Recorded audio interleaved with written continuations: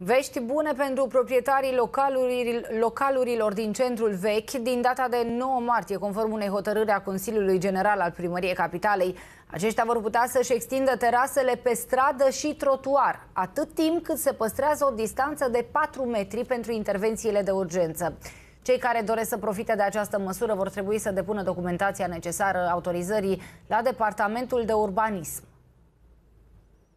Vești bune pentru proprietarii de terase pot să-și extindă de acum mesele și scaunele. De exemplu, acest proprietar va putea începând cu 9 martie să amplaseze mese și scaune pe lungimea imobilului pe care îl deține și vis-a-vis -vis pe stradă, atâta timp cât păstrează 4 metri distanță pentru intervenții de urgență, ambulanțe sau poliție.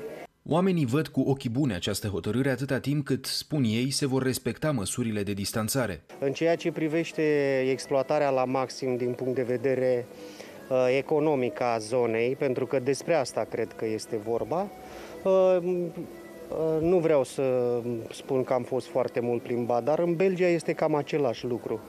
Da?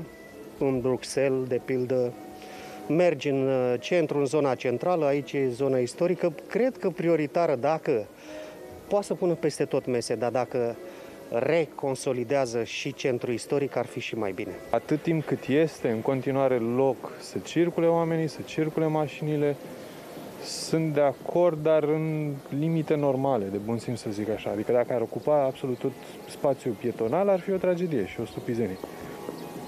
Dar nici să ducem la extrem să le fie interzis în totalitate să-și amplaseze mesele. Centrul vechi, știu că erau și pe dreapta și pe stânga, adică cred că se revine la fix cum era înainte, nu?